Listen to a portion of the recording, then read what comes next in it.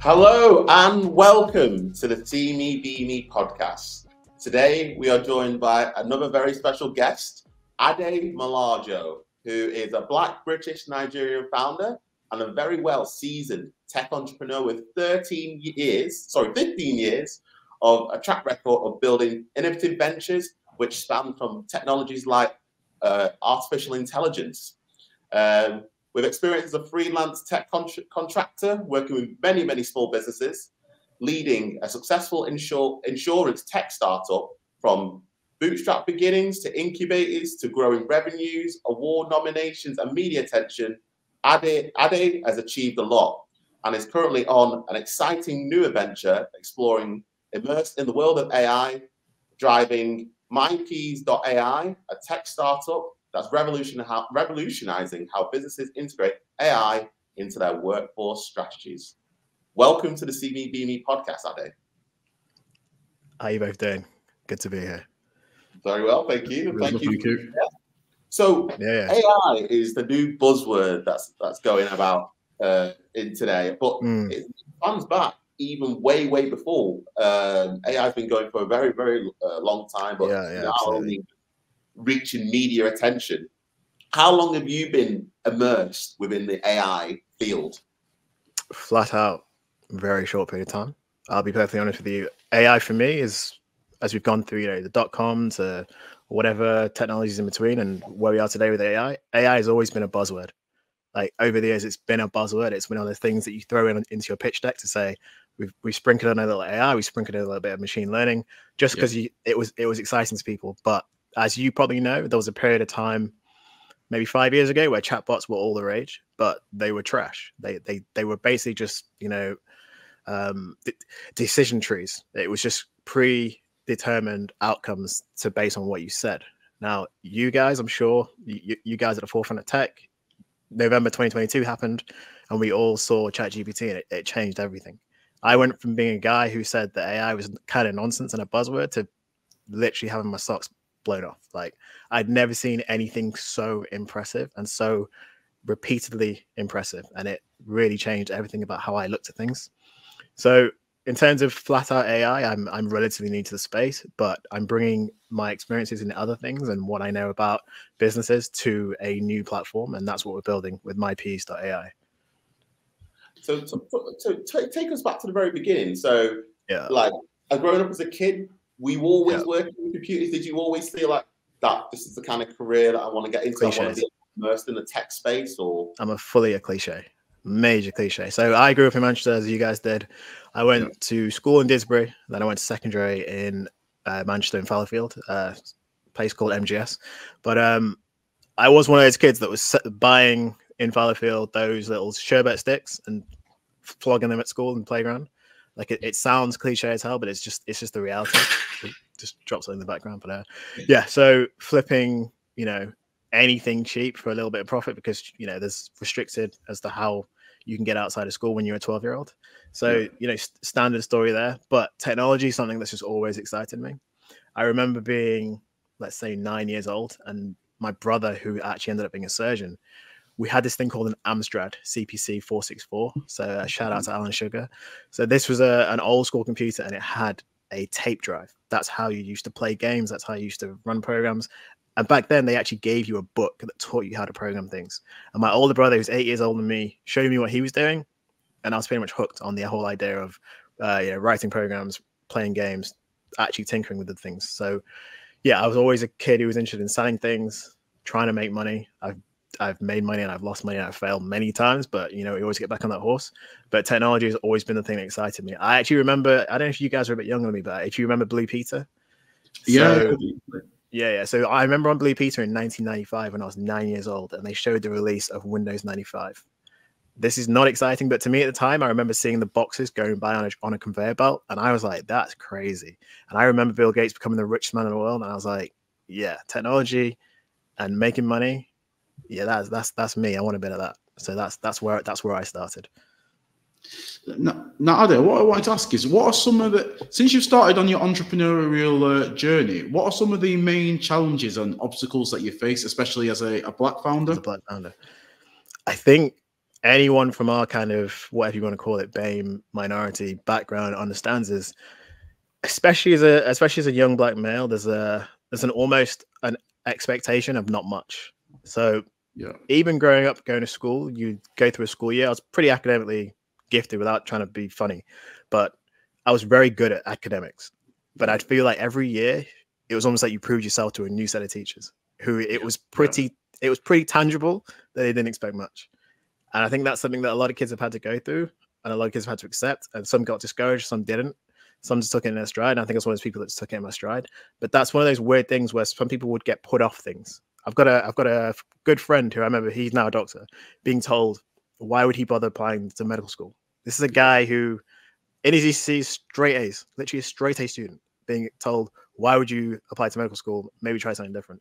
So this oh. is a, a, common experience that, that a lot of us have had. So it's not special to me, but even at the beginning, I think people need to realize the impact they have on young people and how you can limit what they think they can achieve. Now, Ade, what, what I wanted to ask from the beginning of your entrepreneurial career to where you are now, how much, how have you seen tech change over your career?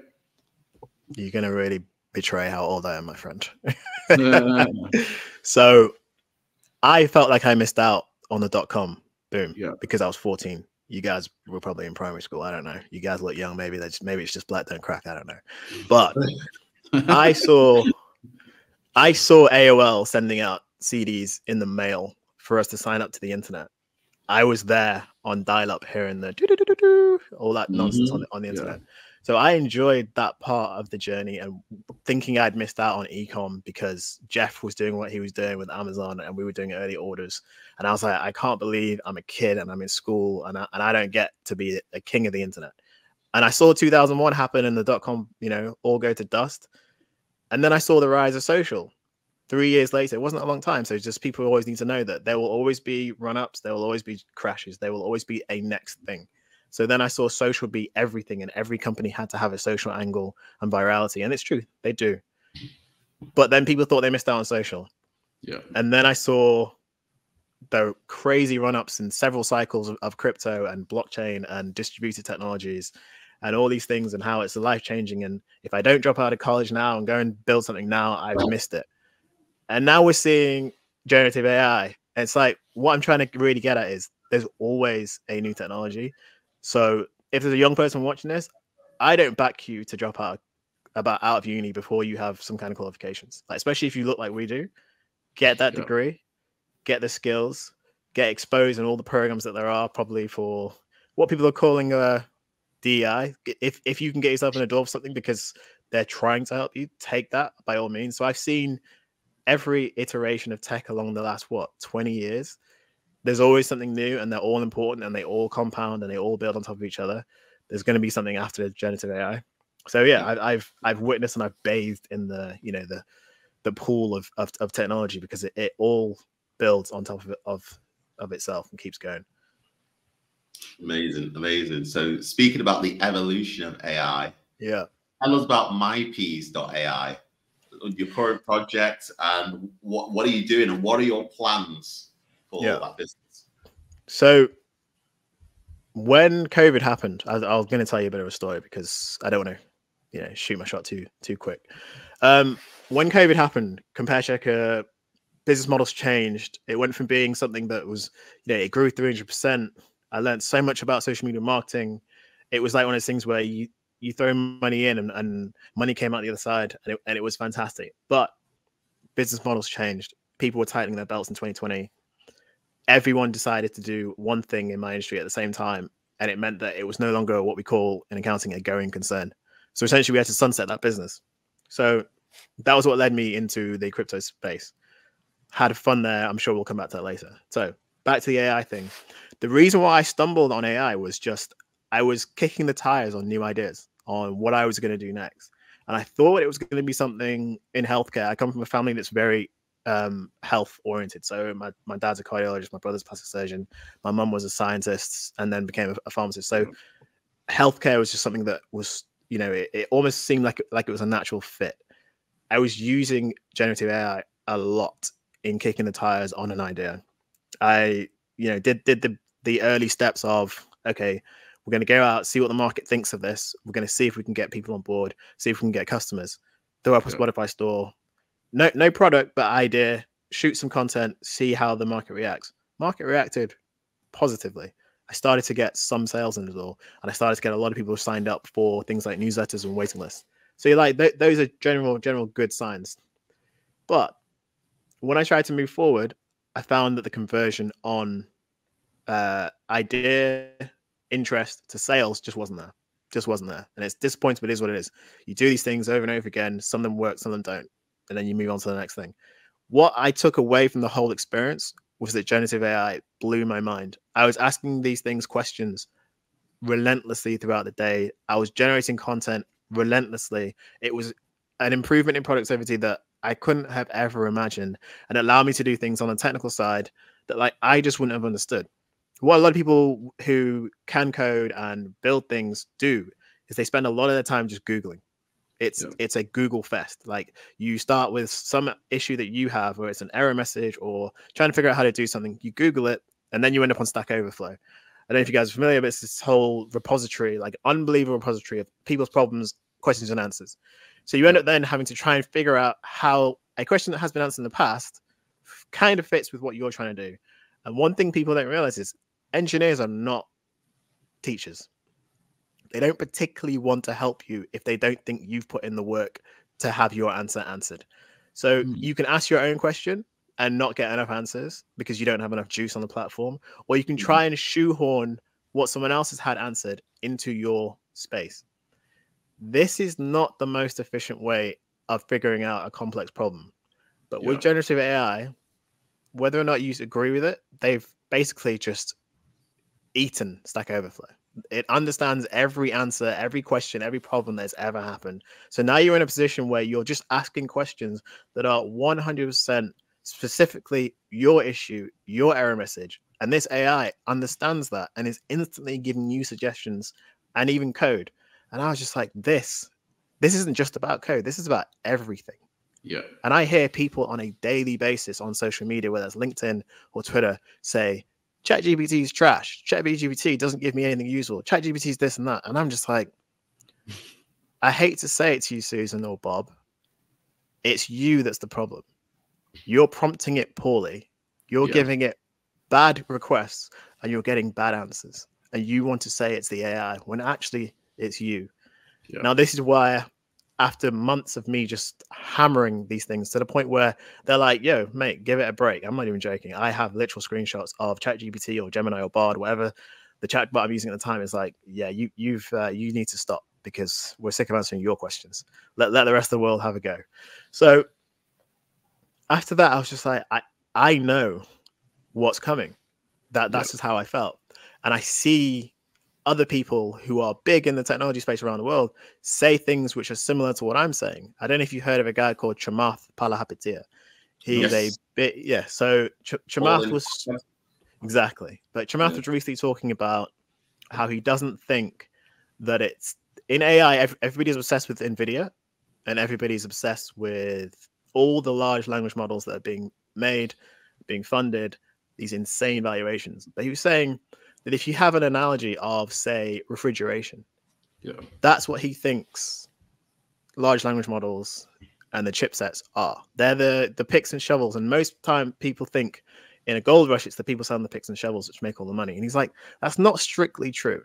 Refrigeration is a game changer because it allows you to keep all kinds of foods, you know, going for long periods of time. But Coca Cola has made more money with more profit margin than any refrigeration business ever has or ever will. And what he was trying to get at is the application layer on AI is the thing where the most value is going to be accrued. It's a 50 50 thing where the large language models are going to make a huge amount of money. Yeah. But there's going to be maybe four major large language models which will be shared by all these application developers, all the all these enterprises to do certain things. But there will be literally hundreds, if not thousands, of major businesses made on the application layer, which uses these things, and they will accrue the other half of that money. So would you rather bet that you can make one of three businesses or that you can make one of the massive businesses of the thousands who are going to make billions? It, God knows. We, we, we never thought in trillions, but we do now. So this is where I saw my entry point for MyPeas.ai. So he's saying it's not about the large language models. People are saying it's not necessarily about prompt engineering because that's going to get easier and easier as these models are get better at understanding humans. And my point of view is prompt engineers are going to be necessary, but yeah. we're going to we're going to build user interfaces around special prompts so that you don't even know uh-huh. you're prompting. You're just yeah. doing a workflow and you're getting the AI to do something special as a result of that workflow. So the reason why the company is called MyPeas.ai is it's my prompt engineering assistance. Because I believe that companies like, say, for example, Jasper, which is a social kind of media marketing uh, AI that people think is kind of had its lunch eaten by ChatGPT being made free. I don't yeah. agree with that. A company like Jasper makes money because it gives you an interface to maximize your outputs for your purposes of, of, marketing. So to me, that is a prompt engineering assistant. And I think all of the application layer are prompt engineering assistants. So the idea is that MyPeas will make it easy for companies in many industries to put in things like their job descriptions, their OKRs, and figure out where into their into their workflows, generative AI, AI tools, automations will fit so that they can maximize their productivity and and you know connect them with consultants to you know take that even further if, if needs be. Now that is where we are focused as, as a product i know it's a oh. long story but i had to get you there in the end what, what, yeah. what, what would you say are some of the, the, the common misconceptions that people may have about AI? I don't think they're misconceptions. I think if you, as I said earlier, if you prompt badly, you'll get a yeah. bad output, and that's always been true with computers. Bad input, yeah. bad input, bad output. I think the statement AI is not going to replace your job, somebody using AI is, yeah, is half true. I think AI is going to replace a lot of people's jobs, but not as in there will be no humans left in the loop. I think in the meantime, it's going to be more so a team of three replacing a team of seven. Mm. So you're going to want to be one of those three that gets AI and not one of the four who didn't. Mm. And what would be your advice to a small business owner who, you know, they you know, the, I think that their only tech is that they have a social media presence. That's all all they do. But how can they be? How can small business owners be looking at adopting these new and emerging technologies to grow their businesses? So, I've been a small business owner. You know, I've never had a business that had 50, 100 employees. Mm. But one of the things I did learn was scale can happen if you don't need manpower to do your business. So, so the reason why I love software is if you make an app that does something really useful for lots of people, you can do it 10 times or you can do it 10,000 times and it doesn't make much difference.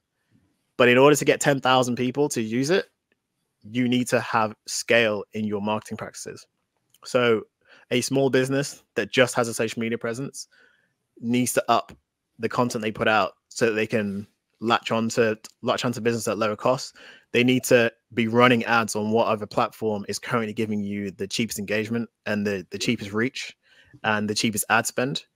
But in order to do that, you need to be making content, whether that is, um, you know, free content or if it's the content that makes up ad copy. And the thing is, the reality is, AI is very good at all of those things. So you're going to get maximum bang for buck in terms of if it is employing an agency who's going to be using AI or you have a marketing person who needs to who needs to make 100 pieces of content but you know they're used to making 5 in a day because you know physically figuring out these things you know manually takes more time that's how a small business can end up scaling up because they're using a force multiplier and that's that's what AI is. What next uh, question I wanted to ask, um, Adi, just particularly from going through your bio, you highlighted the the need of uh, resilience within your career. So, could you share with us, like, particularly at, uh, like a challenging, let's say, scenario in like your journey as an entrepreneur and how you persevered through it? using their resilience? Yeah. So this is the kind of answer I would never give in an interview if it was to get a job because it says a lot about you know my personality. Yeah. I think if you're a business person to a degree, you're a gambler because you're gambling on yourself in a way that other people aren't. Other people go to work every day and they work hard, and there's no disputing that. Everybody works hard. But the idea is that somebody else makes the money and they get paid for their contribution to what it is that's required to make the money. When you're an entrepreneur, you're basically saying, I'm going to work hard, but money has to come. Yeah. And whether or not I make, whether or not I work hard or not, money still needs to come as to whether or not I, I can survive. So I've done that a lot in business, and you know, sometimes you win, sometimes you lose. But the biggest resilience I ever had to face was when I went down that crypto rabbit hole. Uh, in 2021, I saw one of the, I saw an opportunity that you know was four years in the making, Yeah. and I ended up, you know, making an, un, an ungodly amount of money in that in that in that time doing something which essentially is essentially is gambling, but came from research and you know experiences. But the world went through COVID. It's a black swan event no one had ever seen coming. Um, money printing, just insane environment that we've ever seen. Mm. Long story short, I made and lost over a million dollars, and Wow. I've lost money before in business because you know sometimes you run ads, you, you don't get the return on investment you expect. That is what it is. For a lot of people, losing five thousand in marketing is is a tough pill to swallow. Seeing the largest amount of assets you've ever seen, and then making some poor decisions, and some greed, and you know some things like that, losing essentially unrealized gains, essentially Yeah. you it, that that is a real loss. I've seen people do terrible things to themselves in that space for a fiftieth of, of of the balance, you know. So I learned a lot about about what greed is, and, and and greed is is very normal. I learned a lot about accepting that, that you've lost something, and I learned a Mhm. lot about just just getting back up Yeah. and on to, on to the next thing. So it's not the answer you're probably expecting because you know I've run several businesses and re- resilience is, is normal in any business because business is hard, but it's a lot harder to lose something to have never than to have never had it. And mo most businesses don't put you in a position where it can be here today, gone tomorrow in such an aggressive and protracted, you know, time frame. So it's regrettable, but it's probably one of the most interesting 18 months, three years periods of my life. I've I could I probably will never experience anything like that again. But it taught me lessons. I can tell you that for sure. And you know? Speaking about the lessons, normally I ask the question, what would you tell your younger self? Well, if you could go back three years ago and speak to uh, yourself from three years ago, what piece of advice would you have given yourself? Or would you have just said, you know what, there's no advice given, just ride through that journey? Are we talking about three years before the loss or three years because that I'd be in the midst of the loss? Actually, yeah, but yeah, in the midst of the loss, yeah. Yeah. Um in the midst of the loss, I would just I would say to that person that there are more important things in life than money. Mm, and, and I think I think I've always known that, but now I really know that. you know what I mean? It's one thing to say money's not everything Yeah. to someone to someone when you haven't lost anything, but when you have lost a lot of money, you then realize that I would never trade a loved one for that money, yeah, yeah. Mm. and that sounds almost you know f- fluffy and you know warm thing to say. It's a ni- what a nice person to say, but at one hundred percent, it's true. I would. There's no family member I, I would trade for, to get that money. Like, it's just money. If you did it once, you can do it again, Again, but also yeah. realize you could lose it again. So the lesson is in knowing what greed looks like and what it feels like. There's a Yeah. euphoria in that kind of protracted version of greed that most people will never experience. And it that that's a hell of a lesson. Like be like there's an invincibility in the in the midst of the euphoria that you need to recognize so that if you're ever in a position like that again, I don't I don't think that the only preparation for that is is the loss. And so the only advice I'd give to that person three years ago in the midst of it is it's just money. I was I was gonna say, you know, it is like an invincibility. Like after going through that period, you know, five grand, ten grand, whatever is, yeah. is almost like nothing. Like oh, whatever. Like yeah, yep. Been there, and you just like, I can take on the world now. For a lot of entrepreneurs, they go into it. They go into entrepreneurship because they think they're creative, and they feel like either whether it's product or whether it's something that they create and that's all that they have to focus on is going to you know carry them to the promised land and to a degree it makes sense because if, if you can do something no one else can do you can probably find that boring business guy that you know is cookie cutter and can, can slot in and can figure out your strategy and what needs to be done on terms of you know analytics and data but at the heart of it data is massively important your creativity eventually be, will become a commodity like there's there's no level of, of creativity that eventually someone who doesn't have your level won't be able to copy because you put it into the marketplace. So knowing that you have the data behind things like your CRM, so how how you deal with customers in terms of you know your, your sales funnel and knowing where they're coming from, knowing where they're dropping off in in your sales process, knowing how your marketing strategies are, you know, which areas of them are particularly profitable, which aren't, what what conversion rate. Data is super important for you to make any analytical decision. People think they're doing analysis because they've, you know, they've they've studied business and then it's like, okay, well, this is what the strategy will be because X, Y, and Z says this in this paper or this case study. But your business is very individual. So you need to constantly be collecting data about everything that happens to your business from your customer in your market because there there is no case study for that. You are the case study.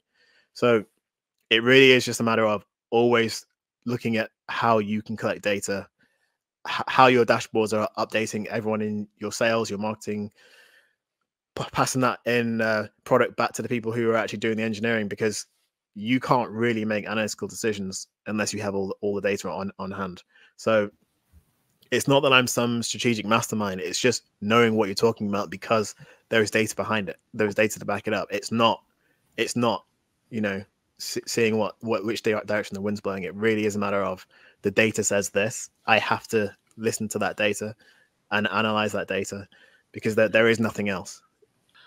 Yeah, I, I think some uh, some hidden and great gems within this podcast, uh, and especially for a lot of young people who, you know, this gen- so actually that's a good question. What do you think about this this current generation of young yeah. people who, you know, probably, you know, my obviously us growing up and yourself, we were involved in tech, but you know what?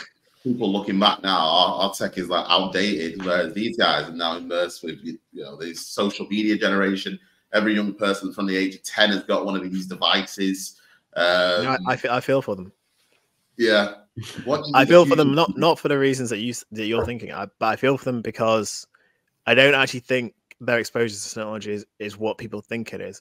When we were coming up, technology wasn't so encapsulated, and you can't really push on it and see what pops out the other side. Now it really is just you receive your phone, you can't do anything with it because Apple's locked it down. You play with an app, you can't really mm-hmm. build an app because you need you need an Apple laptop and you need an Apple developer account. You need this.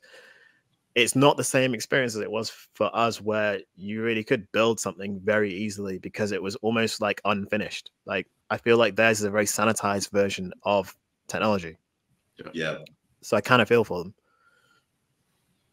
Yeah, I don't notice quite a lot in, in, this generation. Like when we were growing up, we would still, although we would be on the computers or playing PlayStation, we'd still go out and play out on the street. Whereas, yeah, I don't see. I mean, a lot of kids play now just through online gaming now, and yeah, mm. which which I mm. which I'm not against by any stretch of the imagination. And it's just you know everything does change, but I just think their ability to build their own next thing is being hampered by everything being so closed. You know I think what we're going to do nowadays is head, head over to the bonus part. Yeah. Bonus questions yeah. part of the podcast. So we're going to ask you four fun questions.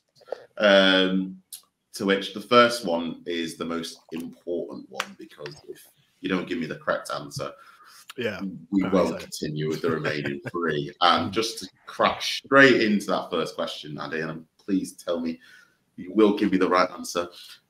Does pineapple belong on a pizza? Uh, qualifying question. You ever been to Hawaii? Yes, I have. then uh, the problem is I actually I don't hate Hawaiian pizza, but uh yes, it does belong on a pizza if you like it. It wouldn't be my choice, Oh. but uh it wouldn't be my choice, but I have eaten it. Like it is what it is. Oh, no, I have to take the pineapple off the pizza. It just uh, yeah, it just doesn't go well for me. Um, All I'm saying is if I go to a pizza buffet, occasionally I'll have a I'll have a pineapple on a pizza. So I guess that's I guess I guess that wraps up the uh, podcast. I'm, I'm, that wraps it up. It started off so well and it's just ended in misery. No, I'm joking. I'm joking. We're gonna Yeah, continue. We're gonna continue. If you could throw a dinner party tonight, you can invite Yeah. three guests from Yeah. uh, from history or today. Who would you invite? Wow. Oh, that's an interesting one. Um I don't really care about like major figures in history, if I'm being perfectly honest with you. So it's a figure in my history. I'll take you back to 2007. Yeah. I want to have dinner with the characters in Entourage. I want to be part of the Entourage for one night. So me, Vinny, E, Drama, Turtle. I want to go out in the town in LA as a member of Entourage and just tear it up. That's my answer. It's so funny to me because I've literally only just started watching Entourage. Ah. I Uh, feel it- bad for you because you need to be 20 to really appreciate Entourage Oh, because it's I so childish. But it's like It it's like child it's childish male fantasy. and it only really gets you like as a 20 year old in university watching this we thought this was the best thing that has ever happened like so if i could go back to then and be part of the entourage for a night that that would make my year Yeah, it's, it's- I'm only five episodes in, but it's such a great TV show. yeah Um, yeah, yeah. Entourage is good. Yeah. and I, and I feel like if there's women watching this who don't get what we're saying it's like it's like being able to go out and party with carrie bradshaw and the girls in sex and the city that that's what entourage was for us as young men I, I need to watch males and females, just yeah, find a way to watch Entourage. It's hilarious. It's Yeah. absolute cracking. Yeah, uh, yeah. I was the same. I was like, "Oh, I wish I could be partying like that uh, in LA. It's not the same here in Manchester. Doing it in Manchester, no. not quite not quite Yeah. Ade, it's been a pleasure to have you on the See Me Be Me podcast. been a pleasure being here Um, and what we do this final bit of the segment is that we hand it to our guests to Yeah. plug any the business, social media, whatever. Yeah. You know, it's your chance to have the final say, and it's over to you. Awesome. I've taken a step back on social media. So if you want to follow me at Ade Molajo on Instagram, by all means do so, but it's not where I do business stuff. LinkedIn, if you want to connect, absolutely find me at Ade Molajo. And if you want to get on the waiting list for mypeas.ai, go to mypeas.ai, M-Y-P-E-A-S.ai. Um, looking forward to more with these guys and whoever want to reach out, by all means do so. Cheers. Excellent, excellent. Yeah, so thank you for listening to this episode of See Me Be Me podcast. If you've liked it, make sure to like, comment, and share this video and subscribe, obviously. Subscribe to the podcast. We're on all the major streaming platforms. And obviously, stay tuned for another exciting episode of See Me Be Me. Take it easy, everyone. Thanks for listening, everyone. Take care. Cheers. Bye.